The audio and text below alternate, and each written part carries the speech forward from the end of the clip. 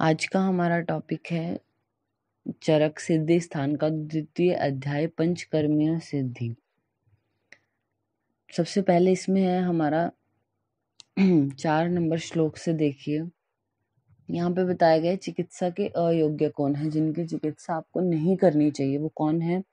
चंड, जो बहुत ज़्यादा चंड होते हैं मतलब बहुत ज़्यादा एंग्री हैं, क्रोधित हैं जो। सहसिको जो ज़्यादा साहस करने वाले हैं, भीरु, जो डरपोक हैं, कृतघ्न। कृतघ्न है मतलब जो आप कुछ भी से कुछ भी प्रोसीजर उनका कर रहे हो, उनको लाभ मिल रहा है, लेकिन कोई आपको जताएँगे नहीं ऐसा। कृतज्ञ है जो, व्यग्र। यानी व्यग्र का मतलब एक ही जगह पे स्थिर नहीं है जिनका मन। आप वो कुछ बोलते हो, वो सुनने रहे स्थिर नहीं है, कभी कुछ कह रहे हैं, कभी कुछ ऐसा। सदराज जह द्वेष्टा, सदराज, राजा और भिषक। सद मतलब अच्छे हैं, जो राजा और भिषक उनसे द्वेष करते हैं। तद द्विष्ट शोक पीड़ित है और शोक से पीड़ित है। यादृच्छिको, यादृच्छा वाले मतलब जो भगवान को नहीं मानते मीन्स नास्तिक। मुमूर्षु मीन्स जो मरणासन है, अभी मरने ही वाले हैं, फिर उनकी चिकित्सा करने का फ़ायदा नहीं है ना तो मुमूर्षु हैं। विहीन करणेश चाहिए, जो सामग्रियों से हीन है। वैरी वैद विदग्धो वैरी मतलब जो शत्रु है वैद विदग्ध हैं मतलब वैद्य न होते हुए अपने को वैद्य समझने वाले हैं अगर। और श्रद्धाहीन सुशंकित भिषजाम अवेदश्च न उपक्रमाद भिषक विद यानी ये ये हैं ऐसे पेशेंट इन गुणों वाले जिनका चिकित्सा या ट्रीटमेंट आपको नहीं करना चाहिए। नेक्स्ट आइए आठ नंबर श्लोक में। एट नंबर श्लोक। फ़र्स्ट लाइन से आप देखिए, ध्यान रखिए जो हम वर्ड बोल रहे हैं, उनको आपने हाईलाइट करना है। यहाँ बताए गए हैं वमन के अयोग्य व्यक्ति। तो सबसे पहले आप हाईलाइट कीजिए शत क्षीण अति स्थूल को। शत क्षीण अति स्थूल, बस इतना हाईलाइट किया फ़र्स्ट लाइन में। फिर एक बार पढ़ लेते हैं अति कृष बाल, वृद्ध, दुर्बल, शांत, पिपाशित, सुधित। कर्म, भार आधव हत। मैथुन, अध्ययन व्याम चिंता, प्रसक्त, क्षाम। गर्भिणी को हाईलाइट कर लीजिए। गर्भिणी सुकुमार समृद्ध कोष्ठ। ये तीन आपने हाईलाइट किए। गर्भिणी सुकुमार समृद्ध कोष्ठ। और इसी लाइन में देखना दुष्छर्दिनों ऊर्ध रक्तपित्त को आपने हाईलाइट किया। ऊर्ध रक्तपित्त में आप वमन नहीं कराते हैं। पर सख्त छर्दी ऊर्धवात अस्थापित है, अनुवासित है। फिर हाईलाइट करना, हृदय रोग, उदावर्त और मूत्राघात को। हृदय रोग का पेशेंट है उदावर्त का पेशेंट है, मूत्राघात का है, उसको आप वमन नहीं कराते। फिर है प्लीहा, गुल्म, उदर अष्ठीला उरोपघात। तिमिर को हाईलाइट कर लीजिए। तिमिर में भी आप वमन नहीं कराते। सिर, शंख, कर्ण, अक्षी, शूलार्थ है, वमन के अयोग्य है ये। नेक्स्ट है, अब ये नौ नंबर श्लोक में बोला कि ये जो अभी आपको ऊपर बता दी कि वमन इनमें कॉन्ट्रा इंडिकेटेड है तो वो रीजन क्या है उसका? कॉन्ट्रा इंडिकेटेड क्यों है? ये पूछा। ऐसा एग्ज़ाम में आता नहीं है करके। आप एक बार थर्ड लाइन देखना फिर भी थर्ड लाइन लास्ट गर्भिण्याम गर्भ व्यापद, आम गर्भ भ्रंशाश दारुण रोग प्राप्ति। गर्भिणी को क्यों नहीं कराते?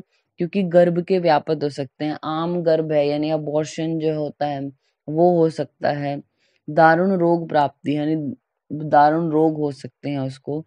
नेक्स्ट लाइन में देखिए, यानी ऊपर से जो हमारी फिफ्थ लाइन है, उसमें देखिए संवृत कोष्ठ लिखा है हाईलाइट करना है इसको संवृत कोष्ठ। जिसका कोष्ठ संवृत होता है, नैरो है, संकुचित है कोष्ठ, उनको भी आप वमन नहीं कराते हैं। क्यों? क्योंकि दुष्छर्दिनों अति मात्रम प्रवाहन दोषा। क्या दुष्छर्दिनों, यानी इनमें वमन कठिनता से होता है समृद्ध कोष्ठ वालों को, इसलिए। और क्या प्रवाहन दोष है? इनको प्रवाहन करना पड़ता है। स्ट्रेनिंग करनी पड़ती है वॉमिटिंग करने के लिए। सम उत्कृष्टा अंत कोष्ठा जयंते अंत विसर्प। इस वजह से क्या होगा? दोष उत्कृष्ट हो जाते हैं और कोष्ठ के अंदर क्या उत्पन्न होगा? विसर्प उत्पन्न हो जाएगा। संभम जाड्यम वैचित्यम मरणम वा। स्तंभ हो सकता है जाड्य संवृत कोष्ठ को आपने हाईलाइट करके नेक्स्ट लाइन में हाईलाइट करना, विसर्प स्तंभ, जाड्य। फिर आप देखिए, नीचे से थर्ड लाइन है जो। नीचे से थर्ड लाइन इसमें आर्ता नाम, तीव्र, तर, शूल प्रादुर्भाव है। तिमिर में देखना, तिमिर आर्ता नाम, जो तिमिर से पीड़ित है, उनको क्यों नहीं वमन कराते? तिमिर अतिवृद्ध उनका तिमिर और ज़्यादा बढ़ जाता है वमन करने से, ऐसा कहा गया। फिर है हमारा राइट पेज पे देखिए, शेषास्तु वम्य विशेषास्तु। अब शेष जो ये रह गए, जिनको वमन आप करा सकते हैं, वो कौन से हैं? पीनस है, कुष्ठ है, नव ज्वर राज्यक्षमा का श्वास गल ग्रह, गलगंड, शलीपद, मिह, मंद अग्नि, विरुद्ध अजीर्ण, अन्न, विसूचिका, अलसक, विष गर्भीत दष्ट, विदग्ध अध पित्त को आपने हाईलाइट किया। अध्य शोणित पित्त अगर किसी को है तो आप वमन कराते हैं। फिर पित्त प्रसेक दुर्नाम, ह्लास, अरोचक, अविपाक। दुर्नाम हम अर्श को बोलते हैं। अविपाक अपच्च अपस्मार, उन्माद, अतिसार, शोफ, पांडुरोग, मुख, पाक। दुष्ट, स्तन्यादि, श्लेष्म व्याधि विशेषण, महारोग अध्याय, योक्ताश्च। यानी महारोग अध्याय में जो श्लेष्म व्याधियाँ कही गई हैं, उनमें भी आप करा सकते हैं। इतेषु ही वमनम प्रधानतम इति उक्तम। इनमें वमन प्रधान है क्यों? केदार सेतु भेदे शाली आद्यो शोष विनाशवत। ये उपमा दी गई है वमन कराने के लिए कि जैसे जो जहाँ अंदर फ़सल लगी हुई है मतलब एक एरिया है खेत में जहाँ पे फ़सल लगी हुई है, पानी भरा हुआ अगर आप बाँध तोड़ दोगे मतलब पानी को निकाल दोगे तो उसमें होने वाली जो धान आदि जो भी फ़सल आपने लगा रखी है, वो सूख जाती है। उसी प्रकार वमन द्वारा दोषों को निकालने पर रोग क्या हो जाएँगे? शांत हो जाएँगे। ऐसा तो आपने ये जो उपमा है, इसको हाईलाइट किया तो ये वमन के लिए आई है, ये याद रखना है। आप पेज के टॉप पर एक चीज़ लिखिए। लिखिए, हृदय रोग। हृदय रोग। प्लीहा गुल्म, उदर। हृदय रोग प्लीहा गुल्म, उदर, तिमिर तिमिर और मूत्राघात। मूत्राघात। इनके आगे एरो करके लिखिए वमन और क्रॉस कर दीजिए। मतलब इनमें वमन नहीं कराते, विरेचन को टिक कर दीजिए। वमन इनमें नहीं कराते हैं तो क्रॉस किया आपने और विरेचन करा सकते हैं तो टिक किया है। पूछेंगे ना आपसे, जैसे अगर क्वेश्चन आ जाता है कई बार कि निम्न में से विरेचन के योग्य कौन है या वमन के योग्य कौन है तो आपको ध्यान रखना है वो। एक लिखिए यहाँ पे नव ज्वर नव ज्वर ये स्टार लगा के लिख लीजिएगा नव ज्वर एरो करके लिखना, वमन पे टिक कर दीजिए। मतलब नव ज्वर में वमन करा सकते हैं, विरेचन के आगे क्रॉस कर दीजिए। वमन विरेचन नहीं कराते नव ज्वर में। और सेकंड लिखिए, ज्वर एरो करके लिखिए, विरेचन। ज्वर पूछे तो ज्वर में विरेचन कराते हैं, लेकिन नव ज्वर की कंडीशन में विरेचन नहीं कराते, वमन कराते हैं नव ज्वर की कंडीशन में। इलेवन नंबर श्लोक में, इलेवन नंबर श्लोक क्या है? विरेचन के अयोग्य बोले तो अविरेचास्तु जिनको विरेचन आपने नहीं कराना, कौन से? हाईलाइट कर लीजिए। सुभग क्षतगुद मुक्त नाल। सुभग, सुकुमार हैं जो क्षतगुद, जिनकी गुदा में क्षत हुआ हुआ है। मुक्त नाल। मुक्त नाल का मतलब क्या होता है? जो स्फिंटर है ना, वो लूज हो गए हैं, ठीक है? क्या होता है? हम जो भी डेफिकेशन का अपना प्रोसेस है, वो थोड़ा वॉलेंट्री है ना, उसको कंट्रोल कर सकते हैं, लेकिन मुक्त नाल अगर स्फिंटर ही लूज हो गए तो हम होल्ड नहीं कर पाएँगे वो जो डेफिकेशन का एक्ट होता है उसको। ठीक है तो सुभग, क्षत, गुद, मुक्त नाल अदो अधो भाग रक्त पित्त यहाँ तक आपने हाईलाइट किया। अधो रक्त पित्त वाले को विरेचन नहीं कराते आप। फिर है विलंकित दुर्बल इंद्रिय, अल्प, अग्नि, निरूढ़, कामादि व्याग्र अजीर्ण, नव ज्वर मदात्य आधमान शल्य अर्दित अभिहत, अति स्निग्ध, अति रुक्ष, दारुण कोष्ठ क्षतादेश गर्भिणी अंता। क्षत से लेके गर्भिणी जिसके अंत में मतलब वमन में जो अयोग्य आपने पढ़े, क्षत से लेके गर्भिणी तक, वो सारे विरेचन के भी अयोग्य हैं, ऐसा बोला गया है। फिर है राइट पेज पे तेरह नंबर श्लोक में विरेचन के योग्य, किनको विरेचन कराना चाहिए तो शिष्यस्तु विरेच विशेषस्तु, कुष्ठ, ज्वर, मेह ऊर्ध रक्तपित्त को आपने हाईलाइट किया। ऊर्ध रक्तपित्त वाले को विरेचन कराते हैं। नेक्स्ट है भगंदर, उदर, अर्श को आपने हाईलाइट किया। फिर वृद्ध, प्लीहा, गुल्म, अर्बुद, गलगंड ग्रंथि विसूचिका, अलसक, मूत्राघात, कृमि कोष्ठ को हाईलाइट कर लीजिए। कृमि कोष्ठ है जिसका उसको विरेचन कराते हैं। फिर विसर्प पांडु रोग को आपने हाईलाइट किया। सिरह, पार्श्व, शूल, उदावर्त को आपने हाईलाइट किया। उदावर्त। जहाँ पे आपने अभी लिखा है ना पीछे मतलब पिछले वाले पेज पे कि वमन के अयोग्य और विरेचन के जो योग्य हैं मतलब वमन जिनमें नहीं कराते और विरेचन जिनमें कराते हैं, ये जो लिखे हृदय रोग प्लीहा गुल्म, उदर, तिमिर और मूत्राघात इनमें उदावर्त भी ऐड कर लीजिए। उदावर्त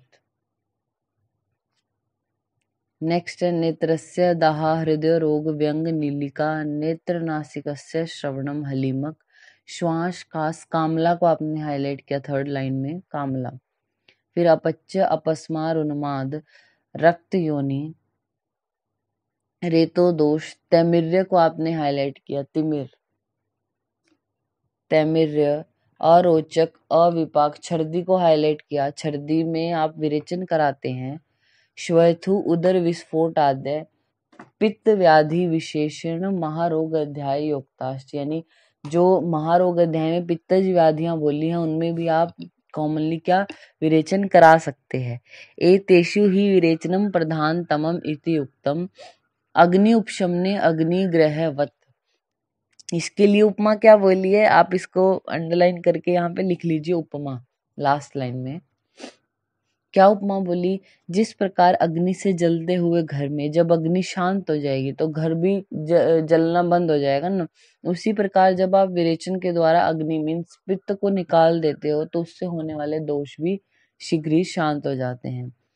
नेक्स्ट हमारा यहाँ पे बताया गया फोर्टीन नंबर श्लोक में निरूह वस्ती के अयोग्य रोगी, किनको नहीं देनी चाहिए। अनास्थाप्यस्तु, अजीर्ण को आपने हाईलाइट किया। फिर अति स्निग्ध पीत, स्नेह, उत्कृष्ट दोषा, अल्प अग्नि है।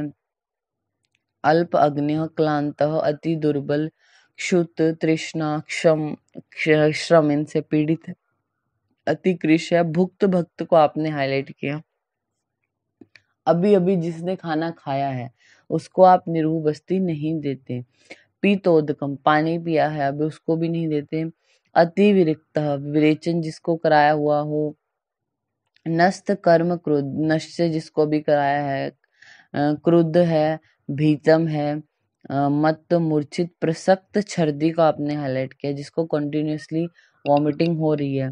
निष्ठीविका, श्वास का सिक्का, इसको हाईलाइट कर लीजिए, बद्र बद, छिद्रोदर और दकोदर। ये उदर रोग हैं जिनमें निरूह बस्ती नहीं देते। आधमान, अल्सक, विसूचिका, आम प्रजाता, अतिसारम, मधुमेह और कुष्ठारता को आपने हाईलाइट किया। मधुमेह और कुष्ठ आरता कुष्ठ से जो पीड़ित हैं। तो अनास्थाप्यस्तु में आपने अजीर्ण, भुक्त, भक्त, पीतोदकम, प्रसक्त, छर्दी बद्ध, छिद्रोदर, दकोदर और मधुमेह और कुष्ठारता, ये इसको हाईलाइट किया है। नेक्स्ट है हमारा पंद्रह नंबर श्लोक फिफ्टीन नंबर श्लोक। इसमें आप देखिए, नीचे से सेकंड लाइन है जो, नीचे से सेकंड लाइन फिफ्टीन नंबर श्लोक में। यहाँ पे बस्ती, प्रणान हिंसियत ये छोड़ दीजिए। अल, यहाँ से हाईलाइट करना, अलसक विसूचिका, आम प्रजाता, अति सारिणाम आम कृतो दोषा। ये आपने हाईलाइट किया। ये जो अलसक है, विसूचिका है, आम दोष है या प्रजाता मतलब सूतिका रोग है, या आम अतिसार रोगों से पीड़ित व्यक्ति को निरूह बस्ती नहीं देनी चाहिए। क्यों? क्योंकि आम आम कृतो दोष, ये आम दोष को बढ़ा देता है और इसलिए मतलब इनको निरूह नहीं देनी चाहिए। फिर राइट पेज पे हमारा बोले गए हैं निरूबस्ती के योग्य किनको करानी चाहिए? तो मोस्टली जब आता है उसमें तो कराएँगे ही आप। इसमें है शेषस्तु अस्थाप्य विशेषस्तु। सर्वांग एकांग कुक्षिगत रोग है, वात, वर्च, मूत्र, शुक्र संग शुक्र संग है तो भी आप निरुवस्थित देते हैं। बल, वर्ण, मास रेतस इनका क्षय हो गया, आदमान, अंग, सुप्ति, कृमि कोष्ठ को आपने हाईलाइट किया। कृमि कोष्ठ में। और लास्ट में इसी लाइन में हाईलाइट कर लीजिए, हृदय रोग भगंदरो भगंदर में और फिर ज्वर को आपने हाईलाइट किया थर्ड लाइन में। ज्वर। थर्ड लाइन लास्ट में ही देखिए, रज क्षयार्थ रज का क्षय हो गया है, जो उससे पीड़ित है। और लास्ट लाइन में देखना सोलह नंबर श्लोक। एतेषु अस्थापनम प्रधानतम इति उक्तम वनस्पति मूल छेदनवत जैसे क्या करते हो, वनस्पति जो होती है पेड़ पौधे जो भी हैं, उनकी अगर आप मूल को काट दो तो वनस्पति क्या हो जाती है, नष्ट हो जाती है। उसी प्रकार अगर आप रोग के मूल कारण को ही नष्ट कर दो मतलब वायु को बोला गया तो उससे होने वाले रोग जो है, वो स्वयं ही शांत हो जाएँगे। फिर है हमारा सतारह नंबर श्लोक में अनुवासन के अयोग्य। जिनको निरूह नहीं देनी चाहिए, उनको अनुवासन भी नहीं देनी चाहिए। लेकिन कुछ स्पेसिफिक यानी विशेष पॉइंट है जिन पे आपको ध्यान देना चाहिए अनुवासन में। वो कौन से हैं? फ़र्स्ट लाइन में लास्ट की तरफ़ देखना, विशेषस्तु। यहाँ पे क्या बोला गया? अभुक्त भक्त, यानी भोजन न किया हो जिसने। ऐसे को आप अनुवासन बस्ती नहीं, जो है वो देते। मतलब क्या होता है, हमारा पेशेंट ने खाना खाया मतलब खाना खाने के जस्ट बाद आप देते हो, अनुवासन बस्ती उसको। और निरूह बस्ती कब देते हो? भूख मतलब अभुक्त भक्त अवस्था में। मतलब उसने खाना नहीं खाया होना चाहिए तभी रिसेंट खाना पच गया हो, जैसे सुबह अगर खाया था तो आप शाम को दे दो निरूह बस्ती, क्योंकि इतना पच गया होगा उसका खाना, इसलिए बोला गया। और रात को उसने खाना खाया तो सुबह उठ के निरूह बस्ती दे दो इस तरीके से। तो अभुक्त भक्त अवस्था में। फिर नव ज्वर को हाईलाइट किया आपने पांडु रोगा और कामला को।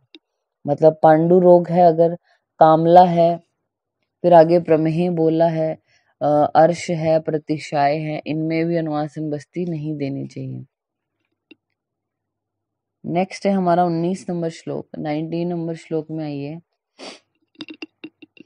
अब अनुवासन बस्ती के योग्य बोले तो इसमें भी यही बोला, जो निरूह के योग्य हैं, वो अनुवासन के भी योग्य हैं, विशेष तो लेकिन विशेष कौन है? हाईलाइट करना, रुक्ष तीक्ष्ण अग्नि, जिनका शरीर रुक्ष है, अग्नि तीक्ष्ण है, केवल वात रोगार्ता केवल वातज व्याधियों से पीड़ित हैं, वो अनुवासन के योग्य हैं और। एतेषु अनुवासनम प्रधान तमम इति उक्तम मूले द्रुम प्रसेकवत को आपने हाईलाइट किया। जैसे वृक्ष की मूल में अगर आप जल डालते हो तो क्या प्रसेक, पत्ते अच्छे मतलब जो फल फूल हैं, वो अच्छे उगने वाले होंगे। इसी प्रकार अगर आप अनुवासन बस्ती देते हो किसी को तो वो बल देने वाला होता है, उसको, उसके शरीर को बढ़ाने वाला होता है, ऐसा कहते हैं।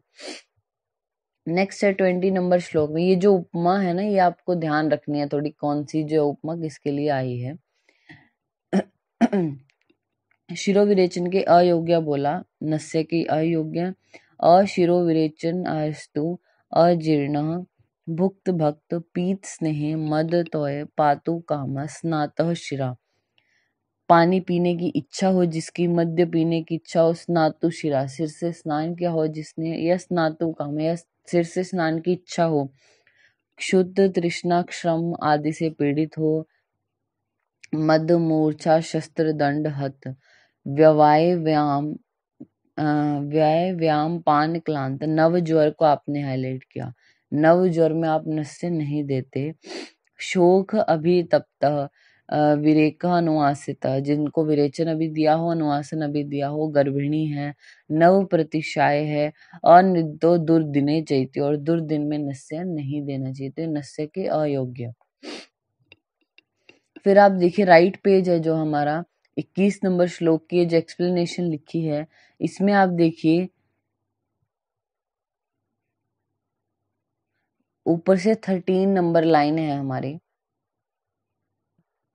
नव ज्वर व शोक से पीड़ित व्यक्तियों में शिरोविरेचन देने से बड़ी हुई ऊष्मा नेत्र नाड़ियों का अनुसरण करती है और तिमिर व ज्वर की वृद्धि कर देती है। यहाँ तक आपने हाईलाइट किया। फिर हाईलाइट कर लीजिए, विरेचन के बाद शिरोविरेचन देने से वायु इंद्रियों का नाश कर देती है। आपने हाईलाइट करना है वायु को। और अनुवासन बस्ती देने के बाद अगर शिरोविरेचन दिया तो प्रकुपित हुआ कफ। तो वायु कब होगी विरेचन देने के बाद जब आप शिरोविरेचन देते हो? अनुवासन देने के बाद शिरोविरेचन करते हो तो कफ सिर में भारीपन, खुजली और कृमि रोगों को उत्पन्न करता है, ये आपने हाईलाइट किया। फिर देखिए, गर्भिणी स्त्री में अगर आप शिरोविरेचन देते हो तो गर्भ को जकड़ देती है, उसके बालक को काना, कोणी, पक्षाघात से पीड़ित, पिट, सर्प यानी पंगु उत्पन्न करेगी। फिर नेक्स्ट लाइन छोड़ के उससे नेक्स्ट में देखना, दुर्दिन में नस्या देने से हाईलाइट करना। दुर्दिन में नस्या देने से शीत दोष के कारण पूती नस्य और शिरो रोग उत्पन्न होते हैं। पूती नस्य और शिरो रोग उत्पन्न हो जाते हैं। नेक्स्ट हमारे यहाँ पे बताए गए हैं 22 नंबर श्लोक में शिरो विरेचन के योग्य कौन है। तो ऊर्जत्रुगत जो रोग है मोस्टली उनमें शिरो विरेचन आप देते ही हो तो आप इस श्लोक में फोर्थ लाइन में देखिए।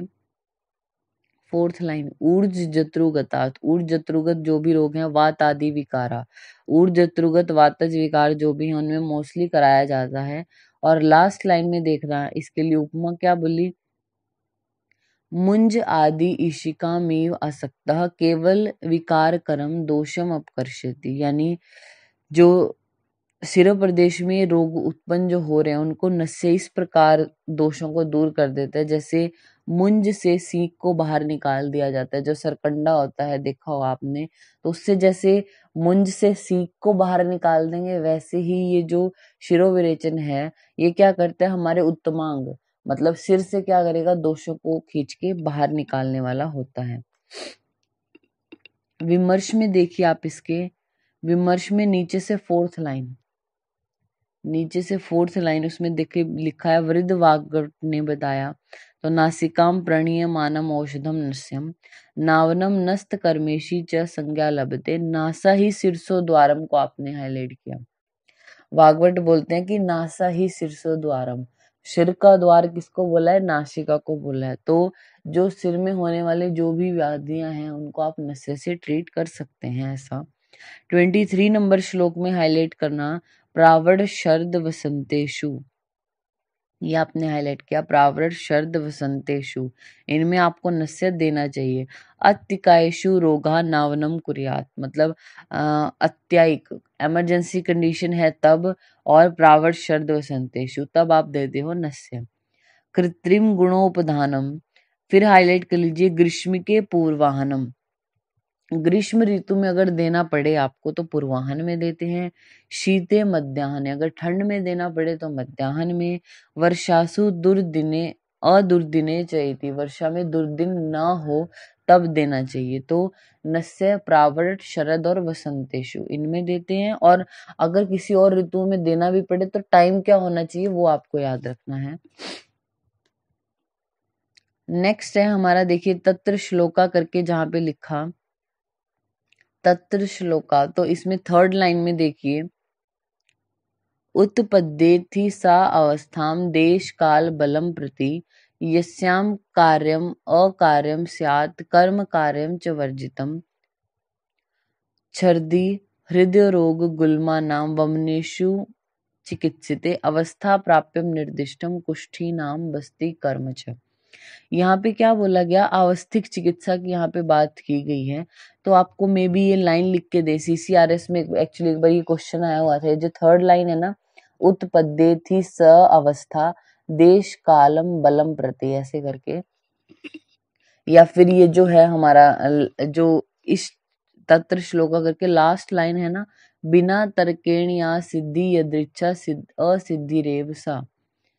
ये इसमें आया हुआ था कि ये किसके लिए कहा गया है? तो ऑप्शन थे आध्यात्मिक चिकित्सा नैष्ठि की चिकित्सा अवस्थी की चिकित्सा या फिर दैविक चिकित्सा। तो अवस्थी की चिकित्सा यहाँ पे बताई गई है। मतलब यहाँ पे बता दिए कि जो भी पंचकर्म है हमारे, पाँचों कर्म उनमें योग्य, अयोग्य क्या है?